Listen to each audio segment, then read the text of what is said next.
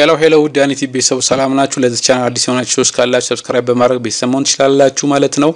እንግዲህ በዚህ channel accounting እና የኢትዮጵያ tax system ምን ይመስላል የሚለውን ያወቅኩት ለእናንተ share የማደርግበት channel ነው። ዛሬ ይዤላችሁ የመጣሁት በተከታታይ በቪዲዮ እየሰራሁላችሁ ያለሁት ምንድነው GAAP ና IFRS difference ኣቸው ምንድን ነው የሚለውን ነገር እየሰራሁላችሁ ያለሁበት ሁኔታ አለ። ነገር ግን አሁን አንዳንዶቻችሁ የጠየቃችሁኝ ያላችሁ ጥያቄ ምንድን ነው IFRS እያልከን ነገር ግን IAS ኮዱን ስታንዳርዶችን ስታስቀምጥ IAS one IAS 16 IAS እያልክ የተለያየ ኮዶችን ነው ወይ ደግሞ ስታንዳርዶችን እያስቀምጥክ ያለውና IFRS እና IAS ምንድን difference ኣቸው የሚል ጥያቄ ስለተነሳ ነው ማለት ነው። ከዛ በፊት ምንድን ነው ማወቅ ያለባችሁ ነገር IFRS ከመምጣቱ በፊት ይሄ ደግሞ የ standard issue ከመደረጉ በፊት ምን የሚባል company እንትን ኮሚቴ ነበረ፣ international accounting standard ኮሚቴ የሚባል ነበር ማለት ነው። ይህ ኮሚቴ በ1971 ነው የተቋቋመው እስከ 2000 ድረስ አገልግሏል። ይህ ኮሚቴ እስከዚህ እስካገለገለበት ድረስ ምን issue አድርጎ ነበር ማለት ነው? accounting standard issue አድርጎ ነበር። የ accounting standard በኮድ ነው የሚቀመጠው። international accounting standard ብሎ አስቀምጧል። almost ከ accounting international account standard one ብሎ እስከ ስንት ድረስ issue አድርጎ ነበር? እስከ አርባ አንድ ድረስ አጠቃላይ ማለት ነው issue ያደረገበት ሁኔታ አለ ማለት ነው። ልክ ሁለት ሺ አንድ ላይ ግን ይህ ኮሚቴ ወደ ምን ተቀየረ? ወደ ቦርድ ተቀየረ። ምን ተብሎ restructure የተደረገ ማለት ነው። international accounting standard board በሚል restructure የተደረገበት ሁኔታ አለ ማለት ነው።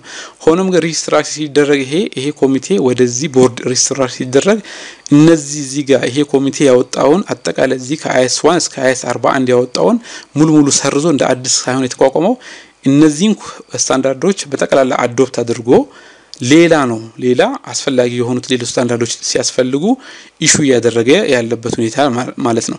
ልክ ግን ይሄ ቦርድ ግን issue ሲያደርግ ግን እንደ ከዚህ ቀደሙ IAS እያለ IAS one IAS two እያለ ሳይሆን ወይ ደግሞ ከ IAS አርባ አንድ የቀጠለው ሳይሆን ራሱ IFRS በሚል ወይ ደግሞ international financial reporting standard በሚል እንደ አዲስ አንድ ሁለት እያለ ነው የሄደበት ሁኔታ ያለው ማለት ነው። ሆኖም ግን ይሄን IFRS አንድ ሁለት እያለ ሲሄድ ከዚህ ቀደም የተሰሩት እነዚህ ሙሉ ሰርዞ እንደ አዲስ ሳይሆን ይሄን ያሉትን አስቀጥሎ የራሱን ደግሞ መሻሻል ያለባቸውን አስተካክሎ የሄደበት ሁኔታ አለ ማለት ነው። ሆኖም ግን እዚህ ጋር IAS one እስከ IAS አርባ አንድ ስንል አጠቃላይ አሁን ላይ የሚያገለግሉት ግን እስካሁን ድረስ ያለው 24 ስታንዳርድ ነው። እንደምታዩት ግን ከ IAS one እስከ IAS 41 ሲባል 41 ስታንዳርድ እንዳለ ነው የሚያሳየው።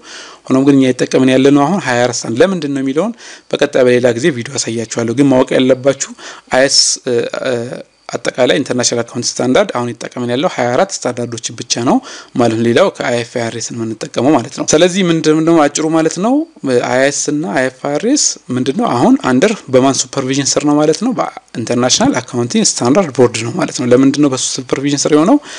international accounting standard ኮሚቴ ከሁለት ሺህ በኋላ ምን ተብሏል? ስለማያገለግል ወይ ደግሞ ስላቆመ ወደ ወደ ምን ስለተቀየረ ወደ international account standard board ስለተቀየረ ማለት ነው። ስለዚህ up to now international accounting standard ምን እየሆነ ማለት ነው ያስፈልጋል ወይ ደግሞ የተጠቀምን ነው 24 standard ኦችን still የተጠቀምንበት ያለበት ሁኔታ አለ። ነገር ግን ወደ ምን አልተቀየረም፣ በ IFRS replace አልተደረገም ማለት ነው። ራሳቸውን ይዘን የቀጠልንበት ያለው ሁኔታ ይህን ነው መረዳት ያለባችሁ የሚለውን ነገር ላሳያችሁ ነው ይዤላችሁ የመጣሁት ማለት ነው ዛሬ። ጥያቄ ያላችሁ ከታች comment ላይ ጠይቁኝ።